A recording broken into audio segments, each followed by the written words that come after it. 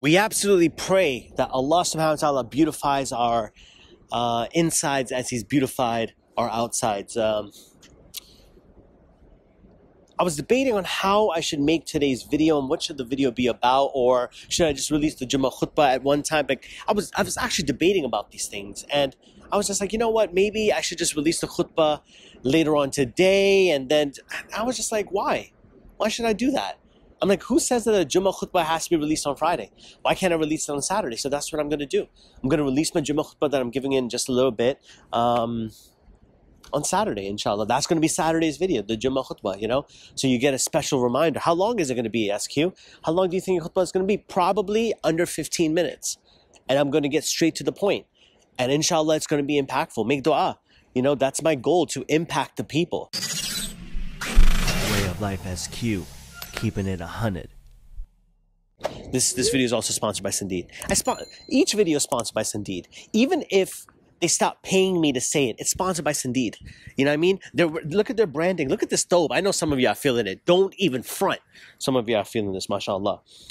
Like, I, I, I enjoy it. I love it. SQ30 for the discount. Link in the description, right? Don't or don't buy it. it. It doesn't really it doesn't really make a difference to me.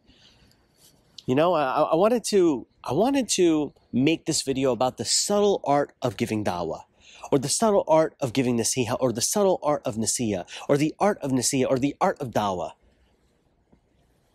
I wanted to make a video like that because I feel like people who feel the, the right to correct others are correcting people in the wrongest way possible.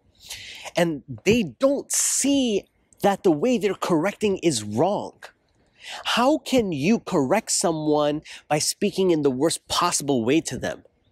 You know? I, I honestly, I laugh when people say the harshest, meanest things. And some of you might ask you, you know, don't the haters talk? It's not about that. Like it, it does, there's, they're not haters. They're not, they're my Muslim brothers and sisters. They're not haters. Why would I even think of them as haters? Some people say, oh, you know, the lion doesn't worry about what the sheep think. I'm supposed to be the lion. They're supposed to be the sheep. What? I'm being compared? You're comparing someone to hate. Why are we calling them haters? Trolls, you know, trolls are Muslim brothers and sisters.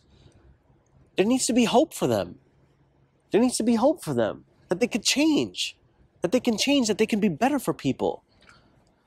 You know, you you're just not used to seeing a person walking around and pacing and, and talking. I don't blame you. Your whole life you've been taught how Islam should look and feel and, and think you've lost its creativity. You've been taught, you know, that you have to be seated and make a video. That it's not your fault. That's just what's been given to you for so many years. Not a dude just standing in the middle of a basketball court in a school gym yard or a recess ground or, or backyard and just talking. You're not used to that. I don't blame you. You know, like I, I'm not mad at you when you're saying mean things to me. I'm making dua for you. Believe me, I am. Believe me, I am. Yeah, but this video is definitely sponsored by Syndeed. They make thobes too. I wanted to bring this out because yesterday I wore jeans. And I wanted to showcase that they make jeans, but I want to show they, they make thobes. Like this thobe looks really, really good. I just don't feel like I'm in the best shape to wear it because a lot of their stuff is very athletic fit. And uh, I wanted to throw in this jean jacket, uh, you know, because it goes with the look. Got some dunks on. Some really, I think, cool basic ones. They're a little dirty though got a little pink tint. Some of you uh, like, uh, excuse, where's those pink sneakers? Well, I like having a little tinge of pink in it. It's good, you know. That's why I got a little watch on, a little kufi on. This is how I come to work. This is how I come to work. You know, I'm very, I have ghira, I have, I have, a, I have a, a jealousy, a protection over my family, as you would imagine right? You have a ghira, a, a, jealousy, a, a, healthy jealousy over your religion, over your family. Don't you dare speak about my family. That's the line that gets crossed, you know? I swear, you know, as a school teacher over here, I teach in this building over here, alhamdulillah. The kids that I teach are my kids. I don't treat I don't teach them as they're some stranger's kids. I treat them and I teach them as if they were my own little brothers and sisters. Amongst my students, there's some who are Muslim and there's some who are not. I shared with you that, you know, one of my students identified to be trans or they wanted to change their gender or whatever it, it was, and I had to respect that. And some of you in the comment section, oh, how are you going to allow. They need. What's their home environment? Do you know what blessings it is to open a fridge and not see beer in it? not see pork in it, not see ham in it, not see haram meat in it, not see wine coolers in there. Do you know what a blessing that is?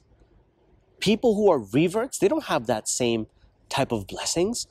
That goodness, there's alcohol in their thing. Oh, they should throw out their whole family stuff and that's their reality, man. That's their reality. And then you have a chance to change their reality for six hours of their day. And if all of a sudden, oh, you can't be trans, you can't be this, you can't, I'm not here to do that. I'm here to use my influence to help people draw closest to Allah, to discover who they are. And the only way for you to discover who you are is by discovering who made you. This is going to be a good khutbah, inshallah. The khutbah is going to be about tawakkul. Tawakkul. What does that mean? What does it mean to have tawakkul? Versus what a lot of us do, which is called tawakkul. Maybe I'm pronouncing it wrong. Who knows? I'm not a scholar. yesterday, yesterday's video, you should check out yesterday's video. The sister, I forgot who it was. I think it's a sister wrote in the comment section at 404 or whatever she timestamped it. She said dying. I watched and I started dying too. When I told you yesterday that I'm giving a khutbah, tomorrow I have a khutbah. I don't know if I'm, I know, right? Ugh, who's going to have you SQ in a khutbah? And a masjid, oh, no knowledge.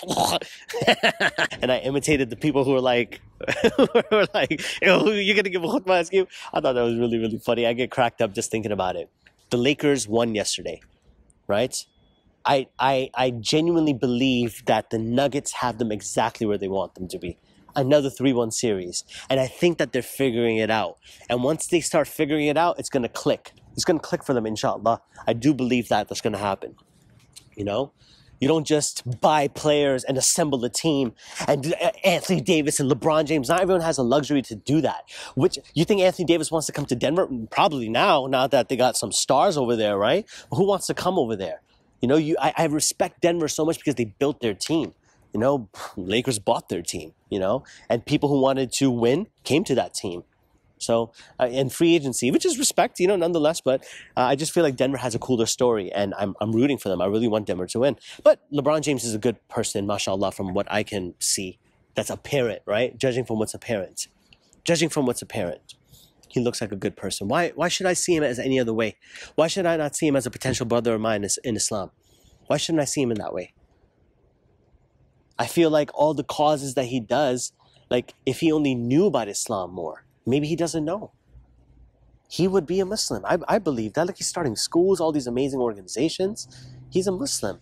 He's doing Muslim like things. He just doesn't know any better. He doesn't know. Maybe he does. Maybe the word of Allah, like who Allah is, who the Messenger is, maybe that hasn't reached him yet. Isn't it our responsibility to do that? Or is it like Allah's just going to sort it out? That's tawakkul. That you work your butt off and you know Allah's going to handle the rest. I'm, I'm trying. I want this message to get to LeBron James. Why is it that Casey Neistat, who by the way, who by the way, saved my YouTube channel, not clickbait, right? Someone was just like, uh, you know, SQ, oh, you do all these clickbaits. And no, I make clickable titles, clickable thumbnails. That's what I do.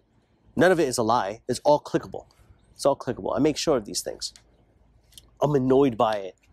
You expect me to take your opinion, and don't take this in a arrogant manner, but like think about this for a second. You expect me to take your opinion seriously when you don't even watch the full video? This is how people change. They change their artistic vision because for the people. That's why people have these meltdowns and you know breaks from YouTube and all that because they're becoming someone for the camera who's not them. I'm, I pace, I move, I walk around, I move my hands around, and that's that's how I am. Want me to change for you? I'll be all stiff. I'd be all stiff. I'd be all stiff. People are afraid to show you their true colors and who they really are. People are afraid. When the camera's off, a lot of people act funny. A lot of people act funny. These videos are for the real ones. Casey Neistat gets averages two, three million views. What is he? What is he really doing?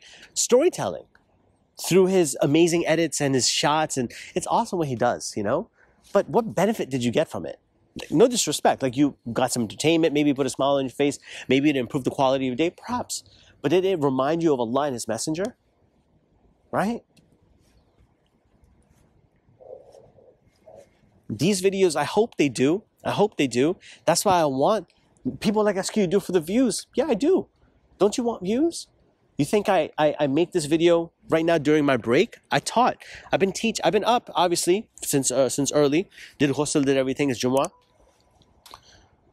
I've been teaching from nine to ten twenty on Zoom. I have a break between 10:20 to 11:10. Then from 11:10 all the way up to 2, I'm supposed to be working. Right? But in between then I'm going to try to find a way to edit this and put up a thumbnail and upload it. It's not for anyone, it's for the sake of Allah. Maybe the video is getting too long. I'm not trying to praise myself. That's not that, that's not what's happening, guys. Like it's just me trying to explain to you that like I do I do want the views. Like look how much work I'm putting it in.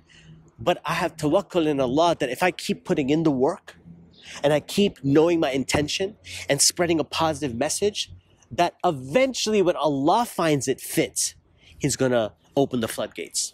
Eventually. But it's my responsibility to stay strong. And between point A of where I am and point B, where I wanna go, between those points right here, that is the patience curve right here. That's the patience. That's the patience. In that process, Allah is going to test your patience and your resilience to get to point B.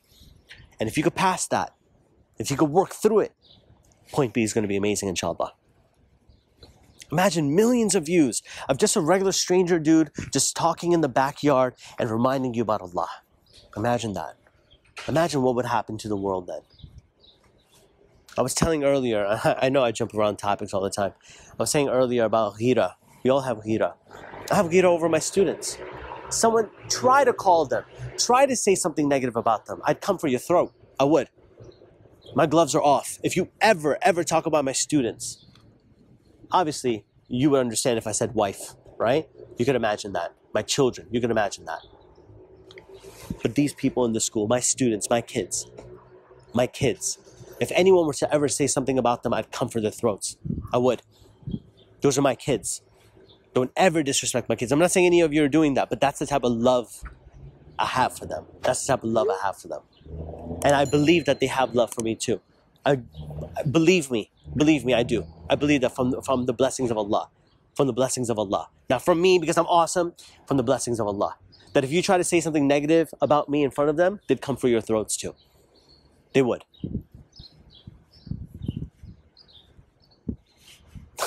Excuse giving us threats. There's no threats over here, guys. I'm just saying, like, we got to be respectful of each other. Someone said you teach at a kafir school. Kafir? That's what they are. Kafir? They're 11 year olds. Kafir?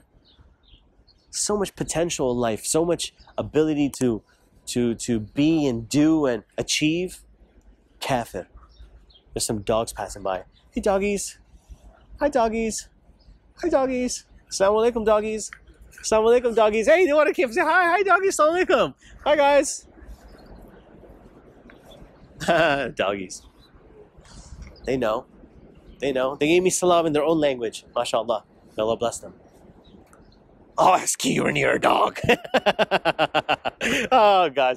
I-, I love this so much. Honest to God. I love it. I love it. I love it so much, mashallah. May Allah accept from us, increase us, and guide us, and bless us, and forgive us, and allow me to figure out a name for this. I don't really know a name. I'm going to have a title over here. Um, but love you all for the sake of Allah. Check out some of my other videos. Uh, and that's just really all I got for you. I'll see you guys live on Sunday, inshallah, with another sexual intimacy in Islam 101 video. It's about orgasms. Okay, I'm out. I gotta go. See you on Sunday, inshallah. Assalamu alaikum. I'm out.